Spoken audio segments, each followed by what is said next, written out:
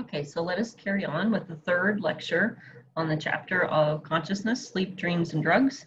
In the last um, lecture, I was talking about just the stages, just introduced the idea of sleep cycles, these four sleep, these four, the, the idea that we cycle through and about four of them a night, um, basically, and then we start all over.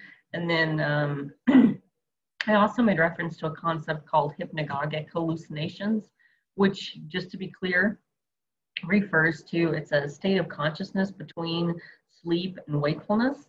And um, we call them hallucinations because you might uh, be thinking that things are happening in the room. Um, I mentioned that some researchers argue that when people claim to have been abducted by aliens, it is actually a hypnagogic hallucination. And it's really about that, that certain parts of our brain fall asleep or come out of um, sleep states at different um, at different paces. And so it's this brief moment between um, one stage and another.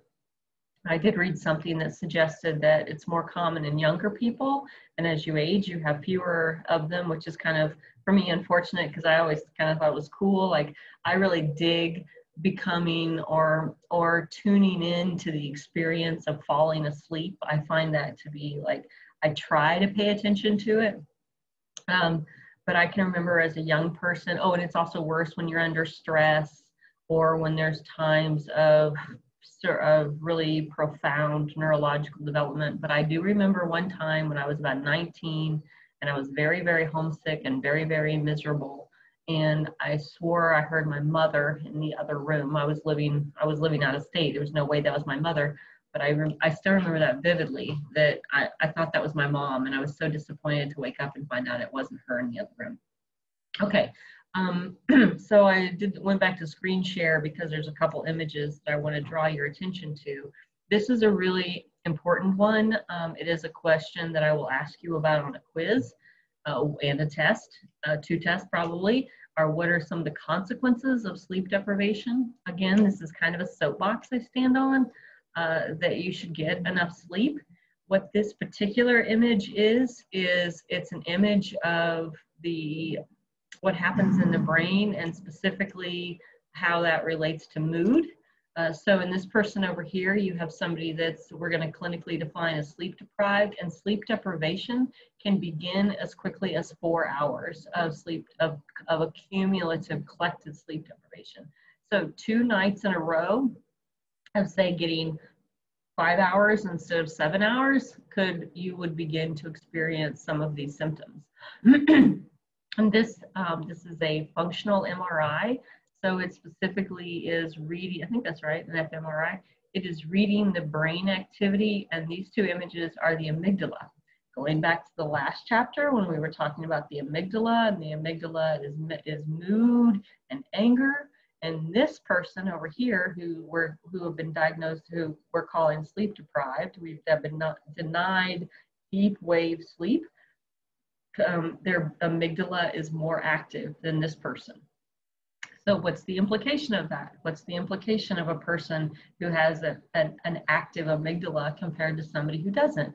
Well, they're irritable, right?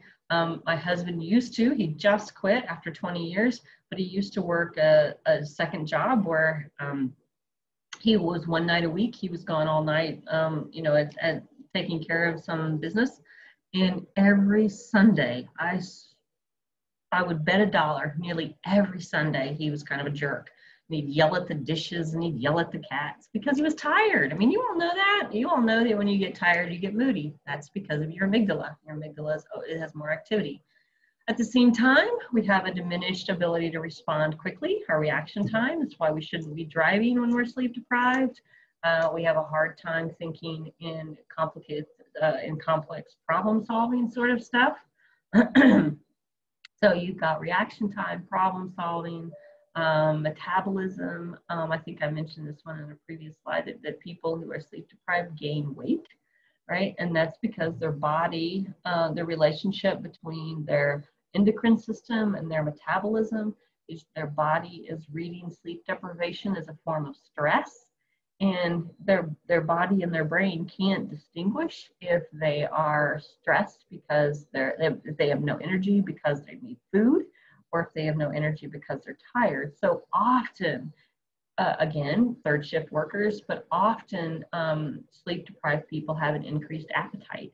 And they particularly like fatty foods that are high in calorie because their body is reading distress as hunger. You know, what I, what I often say is if you're uh, hungry and maybe you're trying not to eat so much, consider taking a nap because you may wake up and you won't be hungry anymore. Again, it may not be hunger, it may just be your body is craving energy and it thinks through eating that it will gain that energy.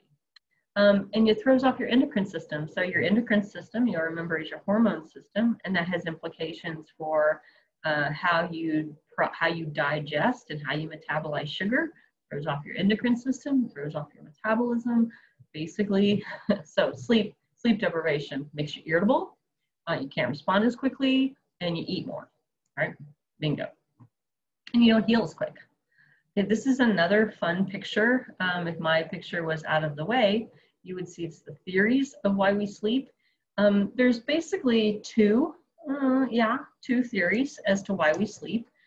Um, and what this illustrates is that it's just another picture of what I've already talking about, but that REM sleep, right, the deeper, uh, deeper wave sleep has more blood flow to certain regions of the brain compared to normal. I don't know what I call it normal, but this is non-REM sleep. So this is the short wave, and this is the deep wave. Your brain is quite active couple theories. Um, and I do ask you to be able to describe one of these theories, whichever one you think makes the most sense. The restorative theory, which um, is probably the one that I would advocate for, but the restorative theory says that it is during sleep that we heal. And that the reason that we have different stages of sleep is because um, they heal different parts of our brain and our body. Short wave patterns when our brain is in you know like this is when it's kind of paradoxical to me but it's short wave pattern that that's what heals the body. So if you think about when you're sick you're probably more in short wave sleep. Um, deep wave sleep which is your rem and your dream sleep this is thought to restore the mind and the brain. So babies no no it's the other way around. People who are suffering neurological uh, spend more time in deep wave sleep there's there's also an interesting um, an interesting working hypothesis right now that suggests that as elder let me make sure I got this right elderly people spend less time in deep wave sleep.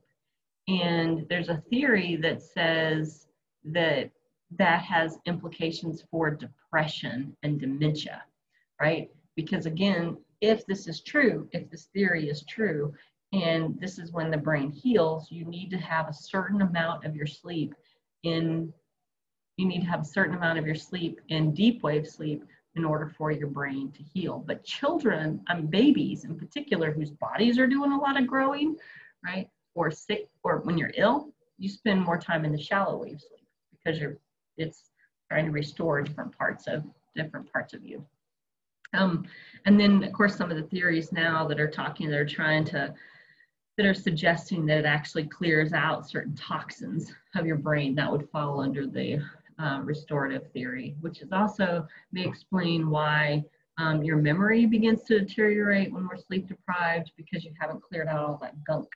I should find that video. And then there's the adaptive theory. And the adaptive theory simply says that the reason we sleep at night is because we cannot see at night. That's that evolutionary psychology that I've talked about before but the theory just says that we are adapting to the environment and as human animals, right? And this is the theory that offers, that explains why we sleep more in the winter than we do in the summer, because it's colder, you use more energy in the winter to stay warm. and so therefore you sleep more because you're gonna burn fewer calories sleeping. It's going to be easier to stay warm when you're asleep than it will be to stay awake. And then, yeah, okay. Um, and I think, oh, there, there you go. There's more of the same thing. Why do we sleep? Restorative theory says we sleep to heal, and adaptation says we sleep because we can't see at night and it wants to keep us safe. And so when you're sleeping, you're not out wandering in the dark, you're not out wandering in the snowstorm. Um, instead, you're all, oh, I love sleep. I'm a big fan of it. Um, I think it can be kind of like a drug, actually. And it totally makes sense that it would be like a drug to people because it is, uh, it does change your consciousness much the same way the drugs do. Okay, I want to stop here. And when on the next video lecture, I want to talk about sleep disorders. It's kind of fun to talk about these and I make sure that I know what I'm going to do um, and just and dreams. So I'm going to stop right here. See you in the next one.